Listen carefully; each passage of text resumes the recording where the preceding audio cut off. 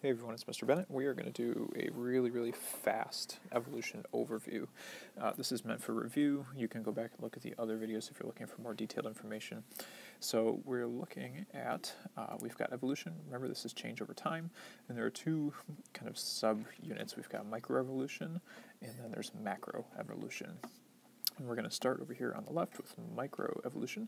Um, Darwin was kind of the first guy to start to describe this stuff. So he was on his trip to the Galapagos. He noticed that finches uh, had different beak shapes, and so he started to think what could cause these different beak shapes to form from the same species. And so he came up with these five ideas about what causes speciation or the changes in species over time.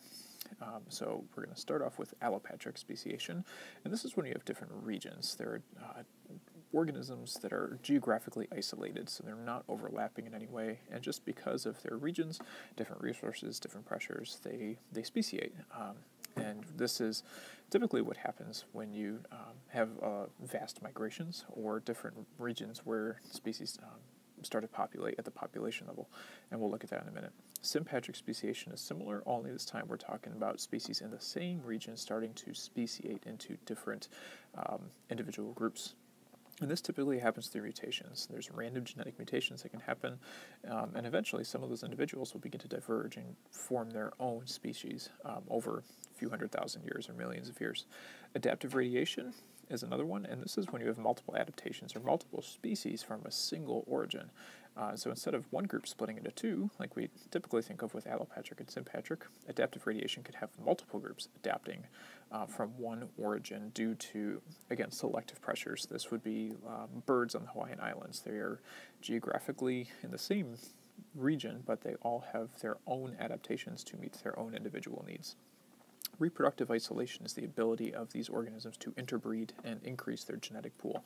So, as reproductive isolation increases, um, meaning these things are diverging more and more, that starts to get us toward a new species. And then habitual or habitat influence, rather. Um, so, this could be food sources, selective pressures, natural selection, um, causing individuals to adapt uh, and to form new survival strategies that eventually speciate them into something new. Um, so those are his five ideas, uh, and the microevolution we can do this this work called phylogeny. And remember, phylogeny is based on genetics, morphology, and protein structure, essentially, which ties in with the genetics, right? So morphology is a good one. We can look at similar structures on animals um, or plants and start to compare um, if there are common ancestors or not. Uh, genetics would be like DNA sequencing. Um, and protein would fall under kind of the genetic sequencing stuff. So we can look at any class, anything that's hereditary in nature. Um, these organisms, they have a common ancestor, and that common ancestor is then branched off. Remember, any of these nodes, let me zoom in on that. So we've got this tree. Any of these nodes can rotate. So time is typically on the x-axis going left to right from older on the left to newer on the right, but it's arbitrary. Vertical doesn't mean anything really, and you are looking at the nodes. So I can take this node right here and I can rotate it with no change in this in this cladogram. Um, individuals connected to the same node are said to be in clades, and they're more related than individuals on different nodes.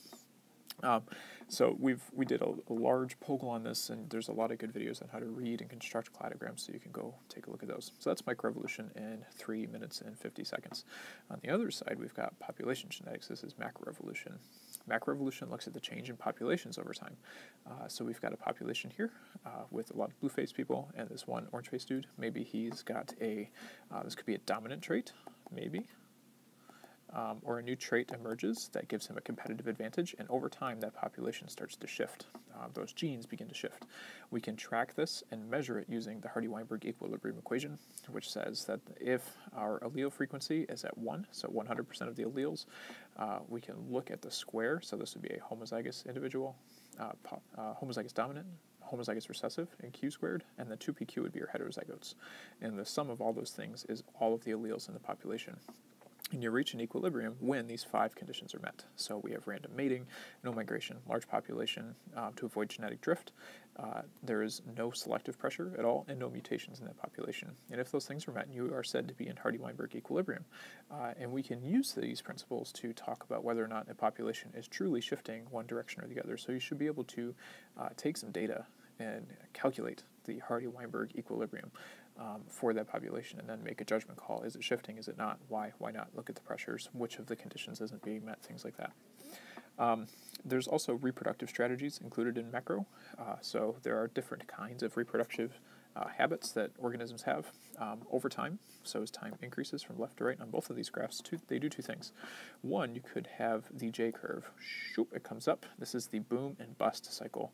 So insects, uh, mosquitoes, every summer they have this boom and they just rise and rise and rise and rise and rise. Remember, this gray line is the carrying capacity.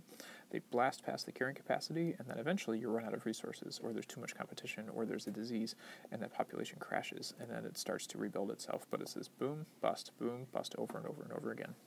Then there's these S curves where you have a quick quick growth, so it looks like exponential growth, but then instead of busting, your population starts to uh, due to selective pressures. Um, again, uh, it could be a niche, food, uh, habitat space, whatever, causes that population to fall. And then once you're below the carrying capacity, you kind of level out and you kind of hover right along um, the carrying capacity. So these are typically animals with longer lifespans, like humans, elephants, even though our human curve um, is starting to look more like a J curve like that, which is a little bit terrifying. Um, over time, these populations will will kind of level themselves out. Elephants follow this population curve in particular. That's kind of the classic example. Um, so make sure you can describe the reproductive strategies of different organisms um, and how they affect the population, uh, specifically within the the Hardy-Weinberg um, construct. Uh, so again, that was a really, really fast overview of evolution, both micro and macro. Uh, take a look back at some of the old material, some of the stuff in your notes, uh, some of the old videos, um, to get more detailed information.